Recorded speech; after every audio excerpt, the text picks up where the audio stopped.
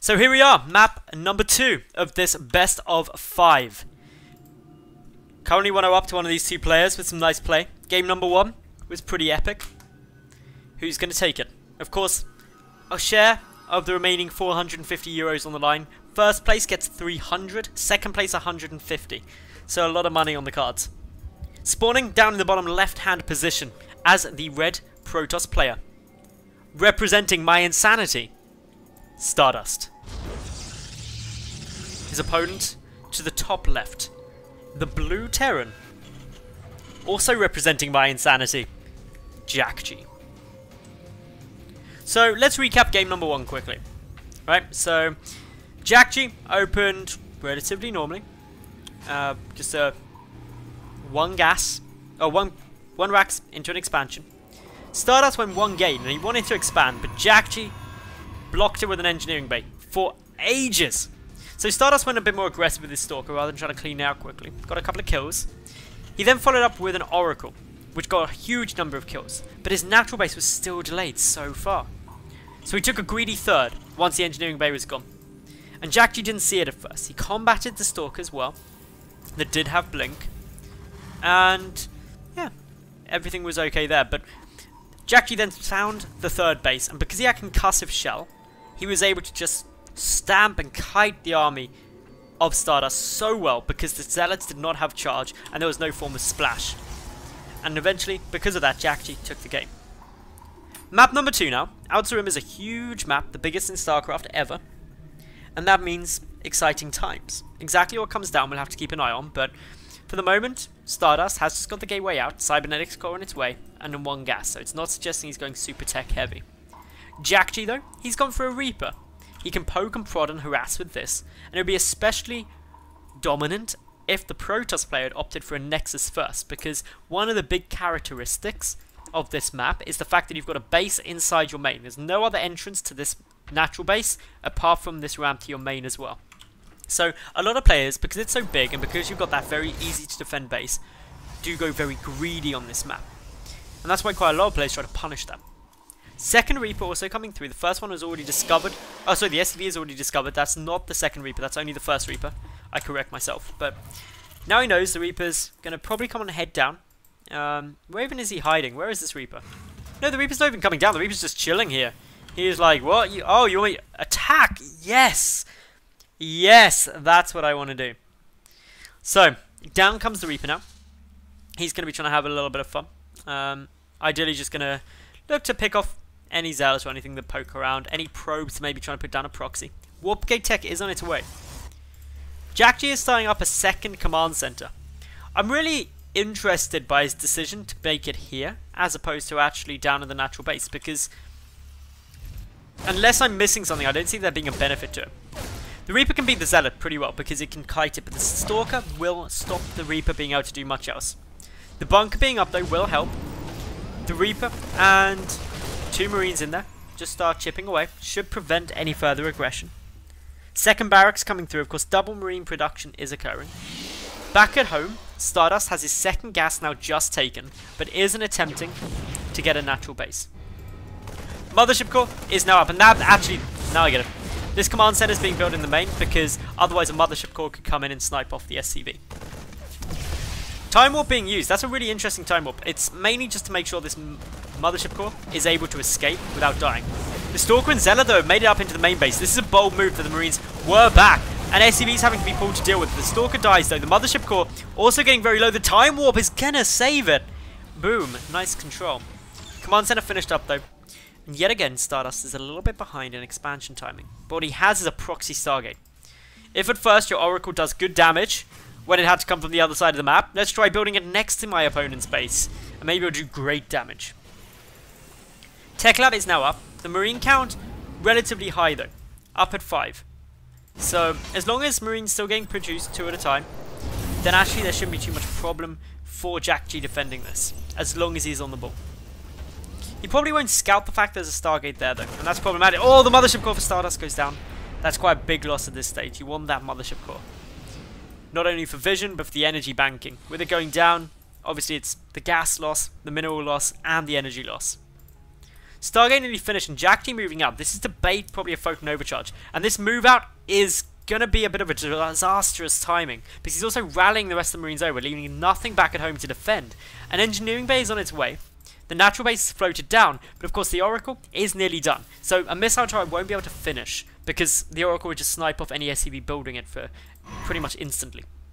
Stardust back at home though doesn't really have too much. His mothership core is only at 60 energy, so this could actually be fairly close. The Oracle though starting to get some good damage. Five, six worker kills already. Should get at least eight or nine. Um, racks up a few more. His energy is quickly running out though, so that's what he's got to be careful for. A Marauder is also on the map, but he'll take a lot of beating, and the Oracle now have energy with 12 kills. But over at Stardust space, Marines and a Marauder coming up. That Mothership core still 25 odd energy away from a Photon Overcharge. The Stalker's having to do a lot trying to kite this. The one Marauder doing a lot to help. Probes being pulled. Loss is getting taken on both sides. The Oracle coming back in, but a missile turret is finished, so he's allowing a bit more damage to be done.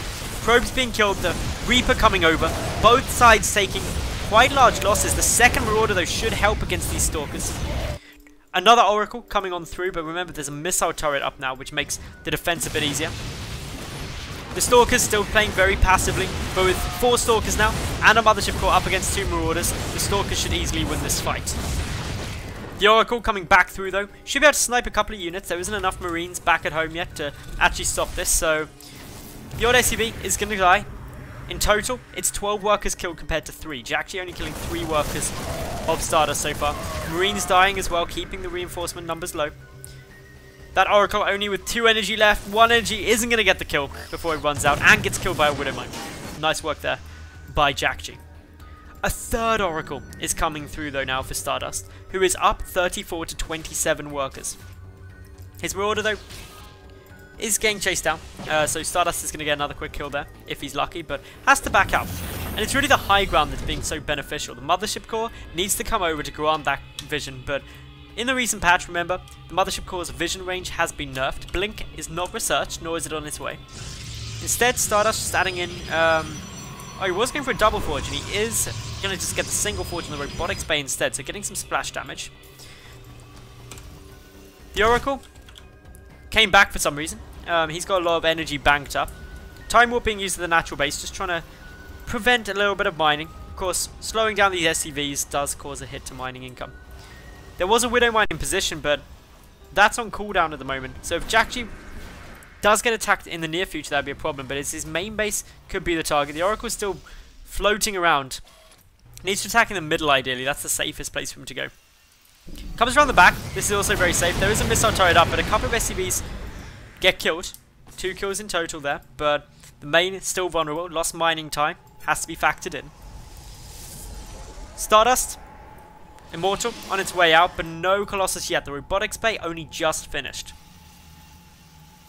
The Oracle skirting away, getting to safety since those Widow Mines are a bit of a threat, or Widow Mine is a threat. Would one-shot the Oracle. And still things going pretty much safely for Stardust. He's only up by 5 workers now, so with the 2 mules, that means Jjakji is slightly up on income. And that's frustrating. Jjakji also going for a nice drop here. Interestingly, focusing the Nexus directly. And it's worth noting that with Photon Overcharge that takes a lot, but most of Jjakji's attention coming up in the main base as he moves up with that medevac and a few units, using some great pickup and drop micro on the Marauder, trying to keep it alive. Pushes back another one of those Stalkers. The final Stalker dies. A Colossus is about to pop out, but Jjakji doesn't have enough stuff to continue this push on, so the Colossus will help. Workers killed, 8 to 14. Pretty much the same now. However, Jjakji, as I previously mentioned, does have those mules, which should give him a decent boost to his economy. He's mining about 500 more minerals per minute. The Marauder's coming up yet again. The medevac gets taken out, did get one unit out, but it's the Colossus without extended thermal lance that's in some difficulties because the Marauders equal its range. Kill it quickly. More Marauders coming up behind. The Stalker's taking some damage. The medevac pretty much out of energy, so nobody healing anything up. Some pick up and drop micro being utilized there. Again, trying to just keep that alive as long as possible. An Oracle comes back, trying to help the defense. But losing that Colossus is frustrating, because overall resources lost are now pretty much the same. Stardust losing 100 more resources. But the work account is still equal. And while this work account keeps equal, Jack Jjakji has the better economy because of mules. Jack Jjakji also is securing up a third base. It's half done. He's continuing on with this aggression, moving now into the natural base, and this is a fair few units. He can pick off a couple of probes fairly easily. Gonna have to pick up and get away though, as of course the Oracle and the Colossus comes back, but he gets to safety.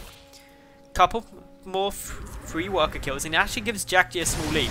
He's moving into the natural main base as well, after dropping the natural, so he's multi-prong attacking, hitting multiple bases simultaneously.